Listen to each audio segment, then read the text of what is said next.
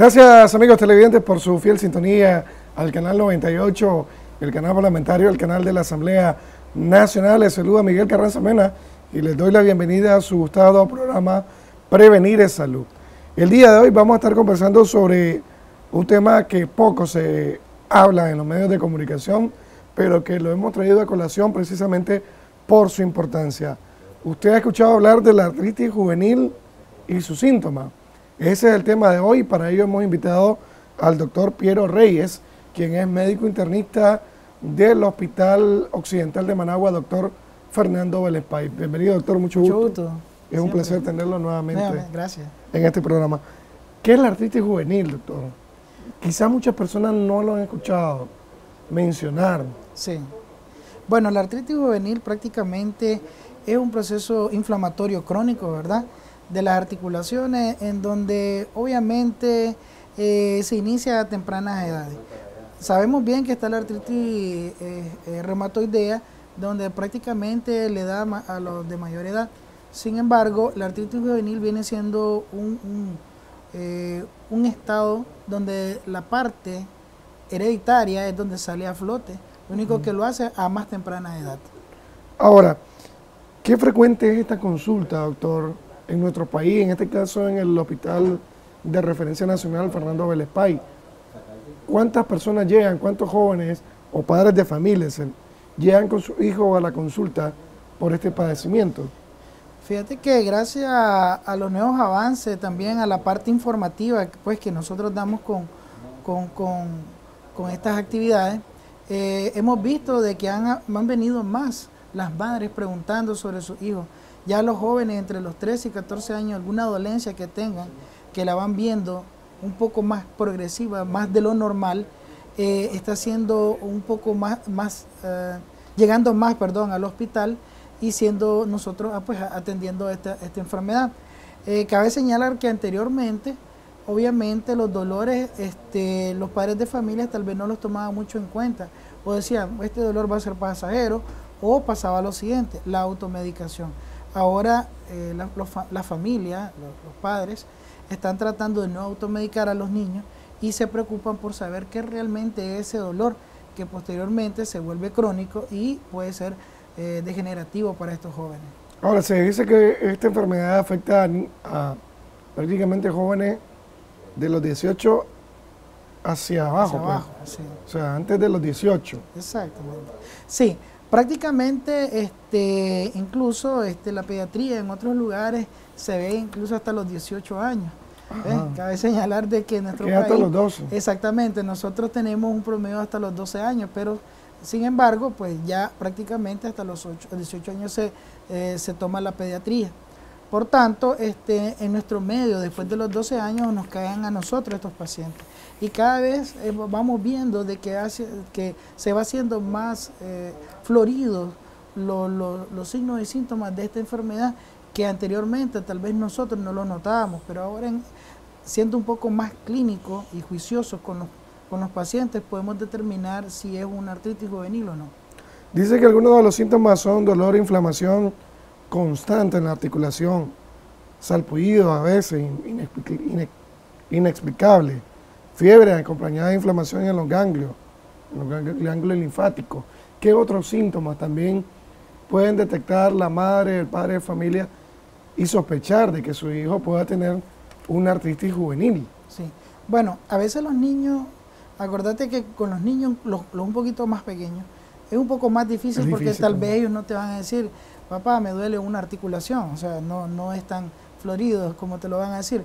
Por lo tanto, a veces nosotros podemos ver incluso en el caminar.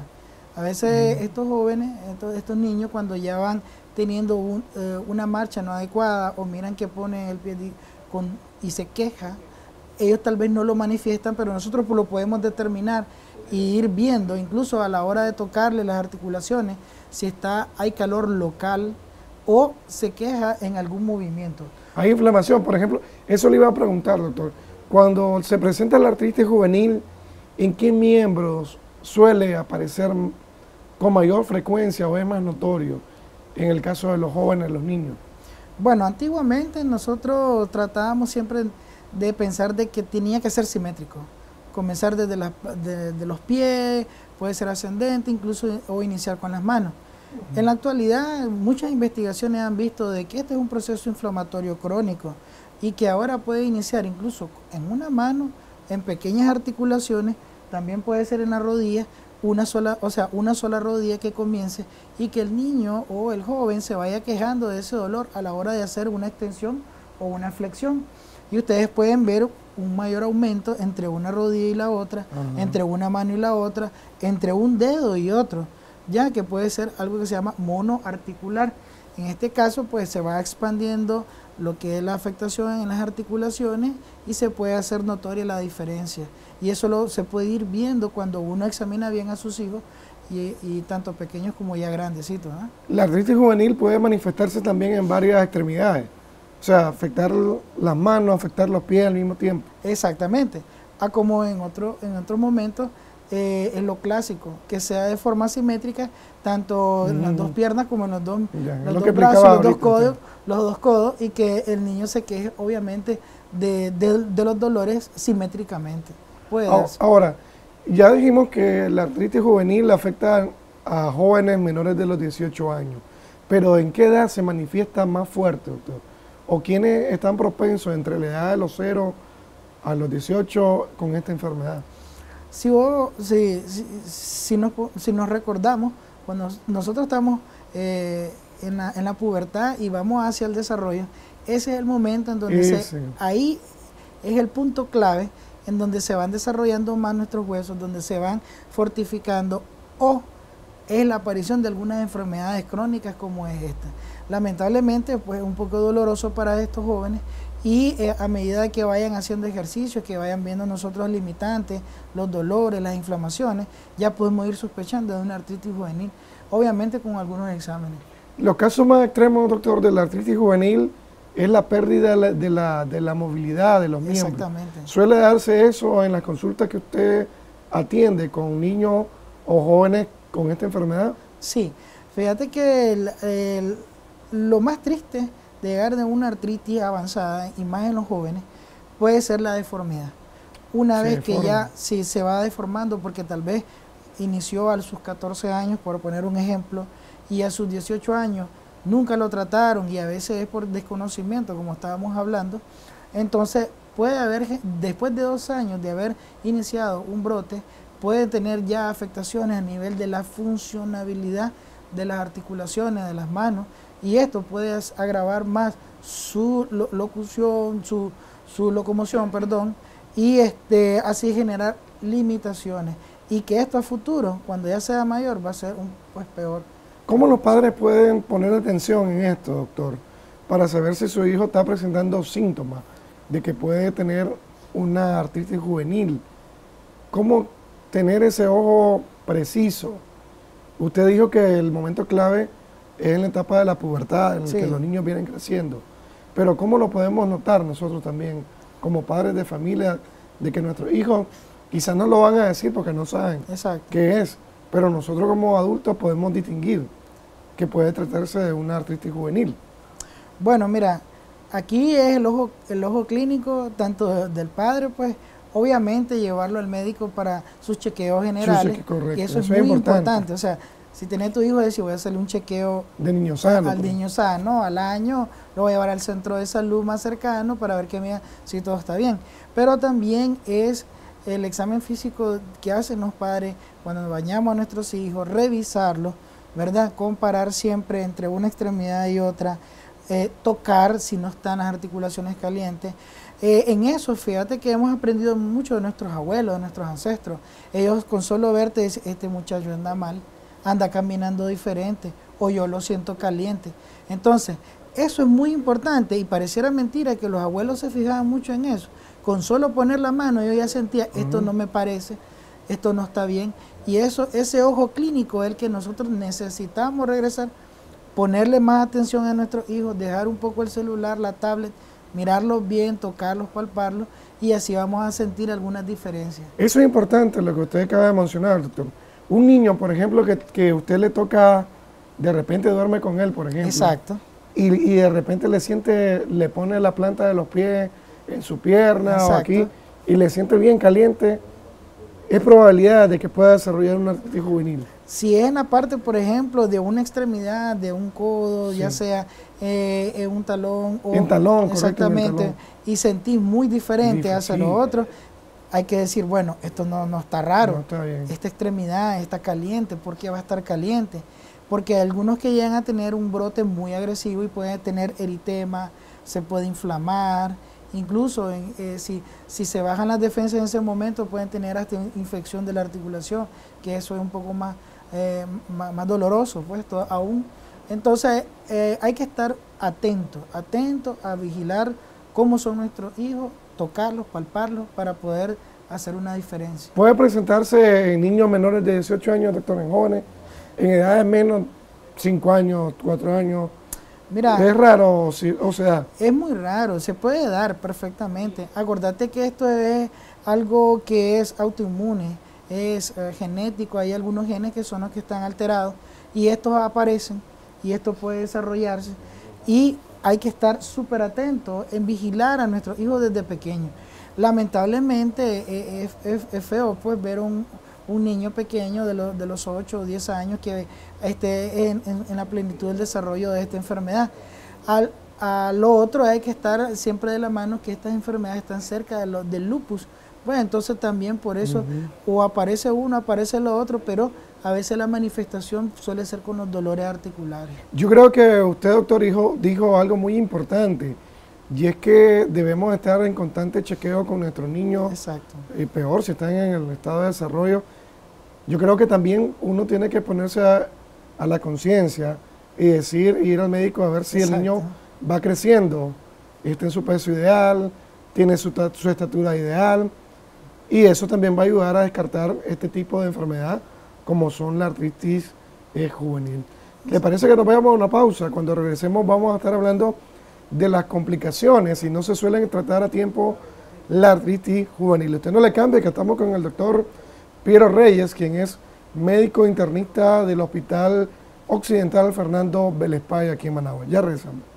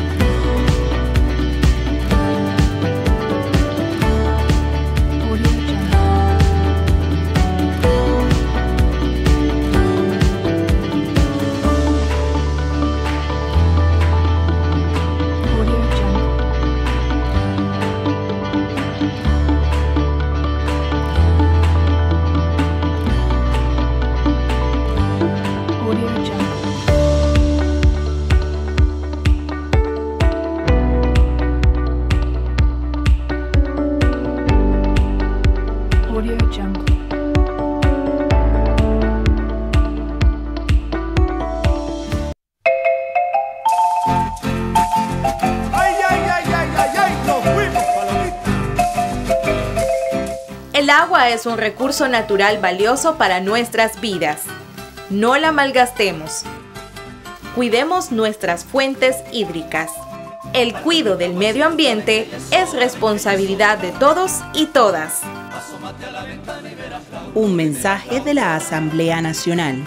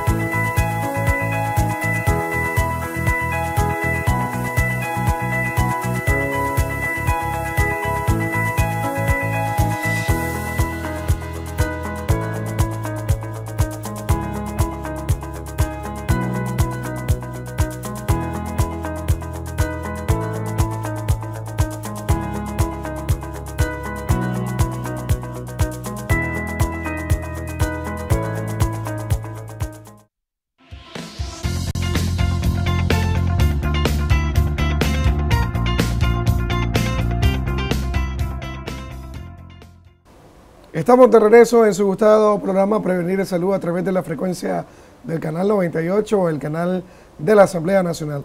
Hoy estamos hablando sobre la artritis juvenil y sus síntomas. Para ello tenemos como invitado al doctor Piero Reyes, quien es médico internista del Hospital eh, Occidental de Managua, doctor Fernando Vélez Ya el doctor nos decía al inicio que esta enfermedad eh, se presenta eh, entre antes los de los 18 años y suele afectar en pequeñas proporciones a eh, niños entre las edades de los 5, 6, 7 años, ¿va? Exactamente. Ahora, doctor, la manera en que, se, en que ustedes diagnostican o tienen esa precisión de decir, este es, estamos ante la artritis juvenil, es un niño o una niña. ¿Qué exámenes hacen? Bueno, eh, importante es la clínica. Tenemos tantos estudios radiológicos, estudio a nivel del el estudio de la sangre y lo más importante la clínica. Ya que, por ejemplo, este, hay, hay, exámenes que pueden salirte negativos, pero toda la clínica específica es de un, de un niño o de un joven que realmente tiene una artritis juvenil. Entre estos, por ejemplo, el examen del factor reumatoideo, que, que en, todo, en algunos lugares eh, es accesible, ¿ya? y te sale positivo. Obviamente, no todo examen ¿verdad? De factor reumatoideo positivo quiere o es directamente decir que es una artritis, sino que hay que vigilar bien al paciente si no ha estado con un proceso infeccioso, si no tiene otra enfermedad inmunológica de base o alguna otra afectación que me lo puede poner positivo. Pero es un pivote o una forma de pensar de que probablemente haya el inicio de inflamación de las articulaciones. Otro estudio muy importante es, el péptido citrulinado. Ese es un estudio pues que no es muy accesible, pero si se llega a hacer y sale positivo, este se eleva en, en los pacientes que ya tienen una afectación articular. Entonces, en este caso sí tendríamos la alta sospecha de una artritis en estos casos de los jóvenes. Otro es la radiografía. Cuando nosotros tomamos radiografía de las manos, de la articulación que estamos sospechando y vemos que hay una afectación de disminución de los espacios interarticulares, entonces ya tenemos que ir sospechando que algo está pasando en esta articulación que me hace pensar, ¿verdad?, en una artritis. Existen varias escalas que nosotros las utilizamos, tanto los, compañeros de pediatría como nosotros, en donde tomamos el número de articulaciones que están afectadas, hacemos una sumatoria y podemos decir que esto sí está en un 90% característico de una artritis en este joven. Ahora, la forma del tratamiento, una vez que ustedes ya diagnostican, hacen todo lo referente, los exámenes, los estudios, ¿cuál es el tratamiento? Ok, el tratamiento va desde eh, iniciar con una buena alimentación, mm. alejarse de los factores que pueden estar a nuestro alrededor. Por ejemplo, si yo soy un, papá que fuma y tengo a mi hijo y lo estoy exponiendo al humo del cigarro el cigarro, el, humo, ¿verdad? Que le afecta a ellos, también hace de que altere más o evolucione más a la enfermedad. Uno. Dos, el tratamiento médico es el otro que es importante, obviamente. En estos casos se inicia con AINES, que son los analgésicos no esteroideos, en donde pueden ser desde ibuprofeno, acetaminofén, dependiendo de cómo es la intensidad del dolor y los otros eh, medicamentos que son los modificadores de la enfermedad, de que eso ya es la parte en donde los reumatólogos nos ayudan, que por ejemplo el uso de metotrexate o utilizar otros como la hidroxicloroquina, que van a tratar de disminuir el proceso inflamatorio que hay en la articulación. Ahora, es una enfermedad que el, que el joven, el niño, la va a tener para toda la vida. No es porque es una artritis juvenil, después de que yo crezca o que mi hijo crezca ya se va a sanar, sino que tiene que, va a convivir con ella pues hasta que Dios lo llame. Sí, lamentablemente una vez que nosotros diagnosticamos, eh, obviamente permanece. Lo que hay que hacer es, disminuir este, los brotes. Esto prácticamente es que nosotros lo, tratar de mantener una latencia de remisión para que no vuelva a caer a la enfermedad. Ok, doctor, vamos a hacer un enlace. Un enlace. Un enlace, pero antes vamos a hacer la última pregunta, doctor. ¿Y ¿Cuáles son las complicaciones? Rápidamente, las complicaciones para si esto no se trata a tiempo. Sí, es lamentable ver a un, a un niño o a un joven deformado. La deformidad es una de las complicaciones más tristes en, estos jóvenes. ¿Por qué? Porque hace una limitación funcional, ¿verdad? A la hora de que estos, estos jóvenes ya tienen una limitación funcional porque una articulación ya está dañada, entonces eso hace de que él no pueda tener una actividad física adecuada, pueden caer en, sobrepeso, pueden caer en, otras en otras afectaciones crónicas que no lo hacen desarrollar adecuadamente, incluso hasta la estatura y el crecimiento. Ok, doctor, le agradecemos por su valioso tiempo. Estamos para Gracias por su sabiduría mostrada en este programa sobre este tema, como es la artritis juvenil. Le agradecemos, amigos televidentes, de su sintonía. Le invitamos a que continúe en la programación habitual del canal parlamentario y, por supuesto, el día de mañana usted nos sintonice a las 3 de la tarde. Recuerde que prevenir también es salud.